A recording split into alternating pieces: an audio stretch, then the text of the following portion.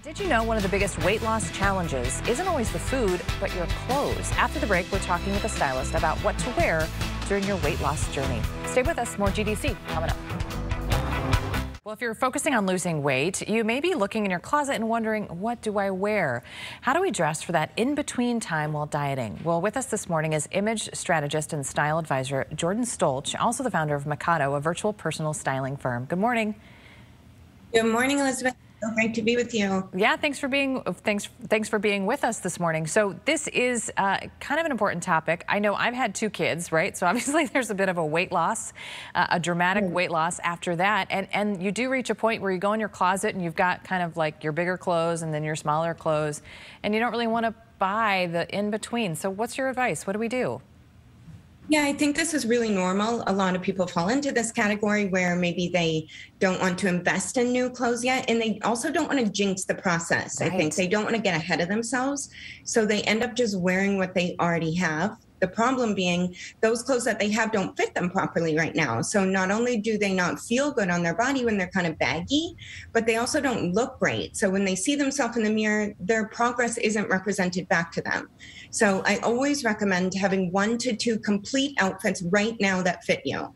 They don't need to cost a lot of money. They can be really basic things that you can get a lot of wear out of and that you can mix and match. Yeah. But the importance being that you have something that you not only feel good in, but you also look good in. And I think there's a tendency to go, well, I've, I've lost 20 pounds, so I don't need this anymore. Do we get rid of those clothes real fast? Yeah, I think I like to say get them out of your eyesight. So a lot of people will keep those clothes in their closet as the contingency plan. If I need to go back to this, if I don't reach my goals, they're there in my closet.